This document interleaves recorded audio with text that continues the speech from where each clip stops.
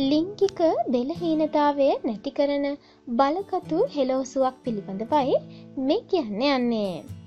රෝකාපාද කිහිපයකටම සුවය සදන ආයුර්වේදයේදී යොදාගන්නා වටිනාම් ඖෂධයක් තමයි නීර්මුල්ලය කියල කියන්නේ. මෙය විවාහරයේදී ඉකිරිය ලෙසිටත් භාවිතා වෙනවා. විශේෂයෙන්ම ආයුර්වේදයේදී මෙම ඔසුව හඳුන්වන්නේ මූත්‍රාකාරක ඖෂධයක් විදිහටයි. මූත්‍රා ගතිය හොඳින් නැති කරන මූත්‍රා පිට කරන ඖෂධයක් නිසා නීරමුල්ලිය ඉතාමත් වටිනවා. ආයුර්වේදයට අනුව මූත්‍රා හොඳින් පිට නොවීම මූත්‍රා ගල් මූත්‍රා අපහසුවෙන් පිටවීම යන රෝගී තත්ත්වයන්ට ඉතාමත් ගුණදායකෝසුවක් ලෙස මේ හඳුන්වන්න පුළුවන්. ඒ වගේම බකුකඩුවල මෙන්ම මූත්‍රා නාලවලත් මූත්‍රාශය හටගන්නා ගල්වලටත් ඉතාමත් ගුණදායක වෙනවා. කෙසේ වෙතත් මෙම ඔසුව නිසි වෛද්‍යවරයකුගේ උපදෙස්වලින් තොරව භාවිතා කළ යුතුවන්නේ නැහැ. සිතුව හැටියට භාවිතා කිරීමත් හොඳ නෑ.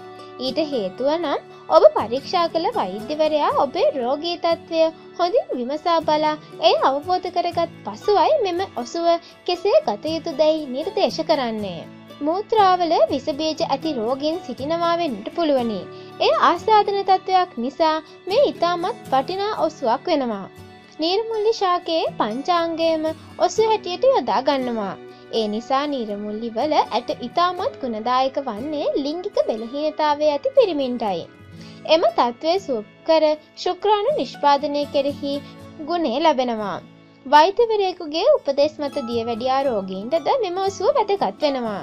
විශේෂයෙන්ම අක්මාව ආරක්ෂා කර දීම මේ දී සිදු කරනවා. පුරුෂයින්ට මෙය වාචී කරන ඔසුවක් ලෙසත් සැලකන්න පුළුවන්.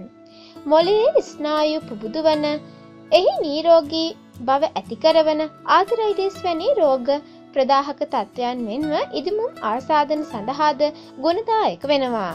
ඒ වගේම අධිරුදිර පීඩනය ඇති රෝගීන්ටද ඉතාමත් වටිනා ශාකයක් ලෙස නීරමුල්ලේ ශාකය හඳුන්වන්න පුළුවන්. ඔයාල තවත් මේ වගේ නොදන්නා වැතගත්තරතුරුව දැනගන්න කැමතිනම් අපේ ලංකා ආයුර්වේද YouTube චැනල් එක සබස්ක්‍රයිබ්ස් කරන්න.